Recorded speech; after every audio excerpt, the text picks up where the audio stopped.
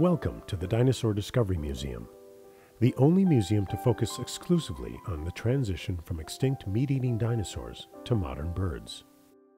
In a design originated by Carthage College professor of paleontology, Dr. Thomas Carr, the museum exhibits one of the most complete evolutionary transitions known from the fossil record.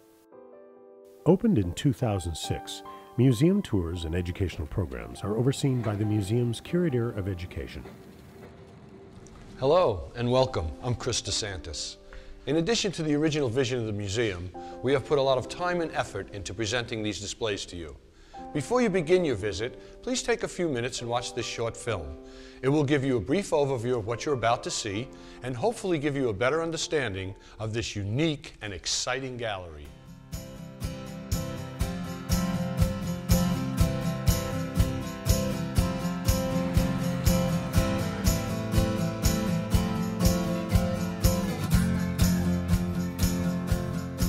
I should mention that there are two additional short films for you to enjoy.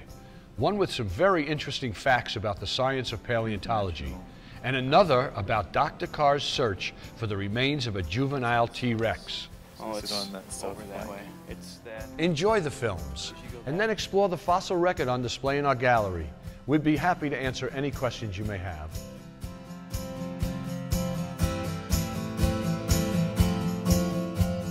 When you enter the gallery, be sure to turn to your left and proceed clockwise around the room. The geological record shows that dinosaurs first evolved sometime before 228 million years ago.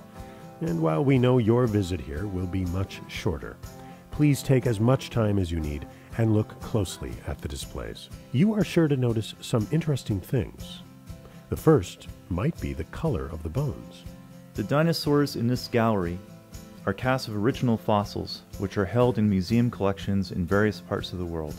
After fossils are prepared in the lab, casts or copies of these fossils are then made so that the specimens can be displayed in other museums.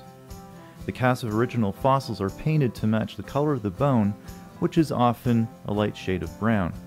The black ones indicate the bones that were missing from the original skeleton and were sculpted to fill in the empty spaces. As you explore the gallery, you will notice that many of the dinosaurs are posed in unique ways.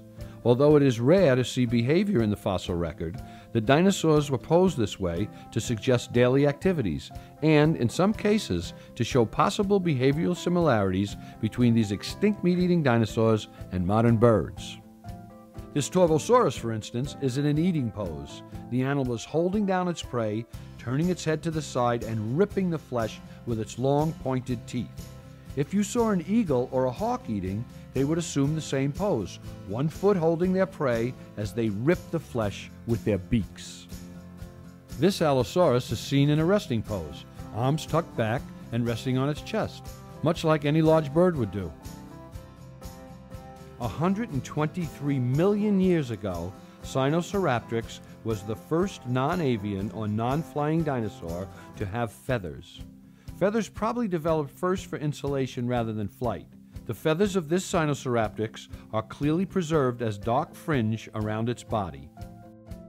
This detailed panel mount of a Caudipteryx has large feathers on the hand and tail, which probably evolved for display and sheltering eggs. In the stomach of the Caudipteryx, you can see small pebbles and stones. Some dinosaurs, like some modern birds, swallowed these stones to help them break up and digest food. While this does not indicate a common ancestry between birds and dinosaurs, it is an interesting example of convergent evolution. You can see that the dinosaurs are looking more like modern birds. The skeleton of this caenagnathoid is posed to show the predatory stroke of the forelimb of these types of dinosaurs. Eventually, flying theropods co opted this motion into the flight stroke. In this caenagnathoid specimen, you can see many inherited conditions that advanced theropods share. Additionally, this animal laid large eggs and sat on those eggs on an open nest. As you round the final corner of the main room, you will find several modern bird skeletons on display. You are encouraged to compare these skeletons with the dinosaurs, noticing the arm similarities, the hands and feet, the way they ate and walked and rested. What do you see? Does T Rex have a wishbone?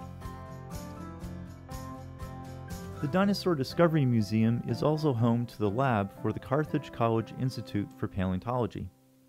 Carthage students participate in paleontological digs, spending weeks in the field looking for fossils. This lab is where they bring the specimens they extract. Many different species of dinosaur have been collected by the field school, including fossils of Triceratops, Hadrosaurids, and Tyrannosaurus rex.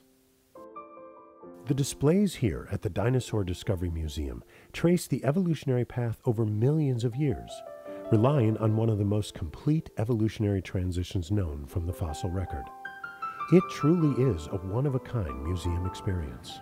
We hope this film has been helpful in highlighting some of the key features of the museum. We invite you to fully explore the museum and come back as often as you like.